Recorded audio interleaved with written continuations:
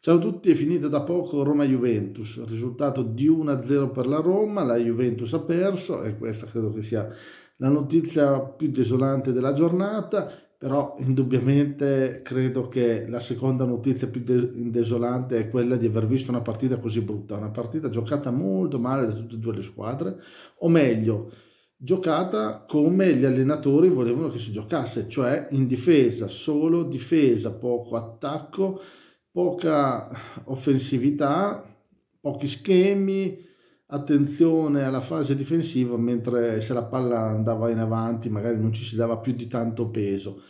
Una partita che nel primo tempo è stata decisamente molto molto deludente, nonostante i due allenatori siano i due allenatori più pagati d'Italia, perché Allegri con 9 milioni e mezzo e Mourinho con 8, se non mi ricordo male, 9, 10, adesso comunque sono il primo e il secondo allenatore più pagato d'Italia, sicuramente se quello è il loro gioco, beh insomma magari tutti quei soldi lì non se li meritano, però è anche vero che sono allenatori di quel genere lì che prediligono la difesa, cercano di farsi fare meno gol possibili e di portare a casa anche la vittoria a corto muso, come questa sera ha portato a casa Mourinho. Dire la verità, tutto abbastanza occasionale perché se Mancini non inventa quella, quel tiro incredibile che ha fatto al 52esimo, 53esimo, un gol incredibile perché tira veramente un bel tiro, certamente la difesa poteva fare di più, così come Scesni, che è stato un po' eh, sorpreso da questa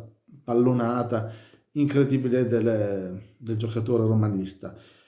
D'altra parte ho visto una Juventus che ha costruito poco e nonostante abbia costruito poco ha costruito sicuramente di più di lei a Roma, infatti ha preso tre pali, però come si suol dire i pali non fanno punteggio e di conseguenza la Juventus ha perso. Poi è chiaro che i cambi di Allegri sono quelli che sono perché sì, hai messo Chiesa e va bene perché comunque è un giocatore che sta prendendo forma e sta incominciando a entrare nella condizione giusta. Infatti è stato forse uno dei più pericolosi della Juventus dopo Di Maria,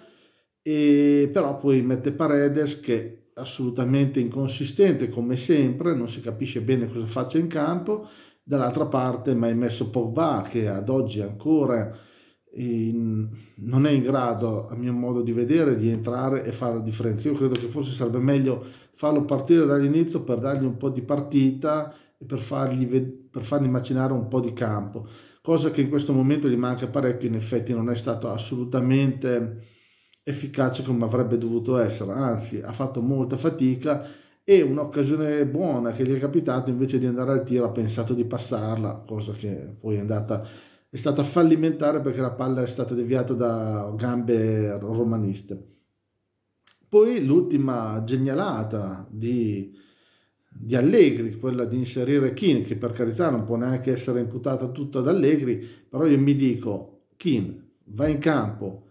dopo 20 secondi vieni espulso per un fallo violento, ma sei proprio un pirla.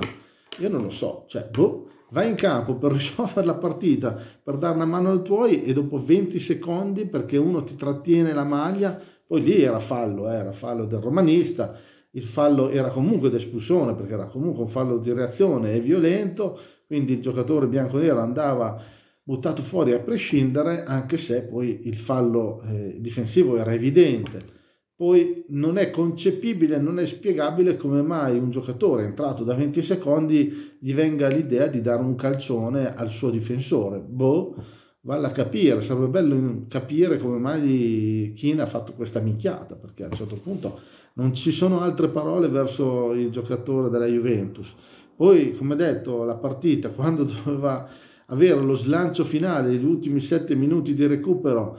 e ti manca un uomo in meno, cioè un uomo in meno e quindi insomma la partita va a finire come deve andare a finire. Giustamente la Roma ha meritato la vittoria, non tanto perché abbia fatto un bel gioco, perché assolutamente no, neanche perché abbia prodotto più azioni da gol, neanche in questo caso si può definire una verità, il problema è che la Roma ha vinto perché ha fatto un gol e, e ha difeso benissimo, o meglio, ha difeso molto meglio della, della Juventus in modo esemplare. Eh, la Juve di per sé ha fatto un paio di occasioni che potevano essere sfruttate certamente meglio, ma d'altronde quando la palla non va dentro c'è poco da fare. Poi come dicevo anche prima i pali non fanno punteggio, quindi ne puoi anche prendere 50, ma fondamentalmente se la palla non va in rete te la tiri, te la meni e la partita la perdi comunque. Detto questo non saprei altro cosa aggiungere se non degli impropri, ma non mi sembra il caso, quindi vi lascio... Eh, alle vostre riflessioni, se volete farle nei commenti molto volentieri. Detto questo vi saluto, buona serata, mi raccomando se avete voglia di mettere mi piace sarebbe una bella cosa, così come iscrivervi al canale che è sempre ritenuto un bel gesto. Detto questo, buonanotte, ciao a tutti.